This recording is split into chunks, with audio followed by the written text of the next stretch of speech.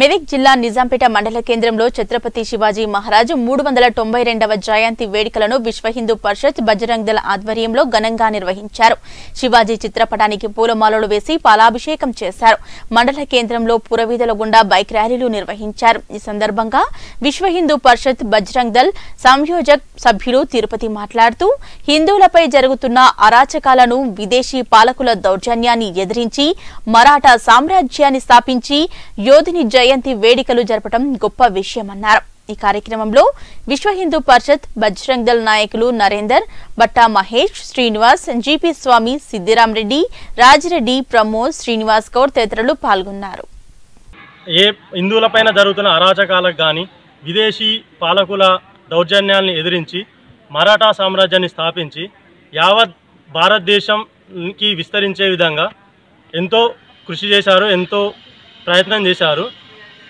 మనం ఈరోజు ఛత్రపతి శివాజీ గారిని జయంతిని పురస్కరించుకొని ఆయన స్ఫూర్తిని ముందుకు తీసుకెళ్ళాల్సిన ఆవశ్యకత ఎంతో ఉంది.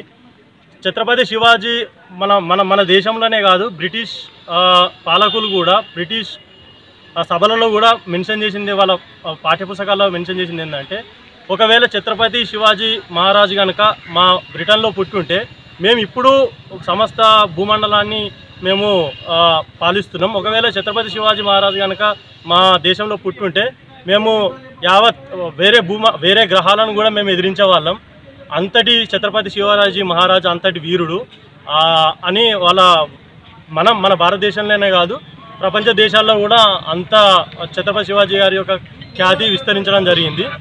అదేవిధంగా ఇప్పుడు మన మనం ఛత్రపతి శివాజీ గారి భావజాలాన్ని ముందుకు తీసుకెళ్తూ అదేవిధంగా హిందూ సమాజంలో ఈ రోజుల్లో జరుగుతున్న దాడులను ప్రతిఘటించి మనం ఐక్యతగా ముందుకు సాగి మన హిందూ సమాజాన్ని ఇలానే ముందుకు తీసుకెళ్ళాలని మేము విహెచ్పి భద్రంగల్ నిజాపేట తరఫున మనవి చేసుకుంటున్నాం.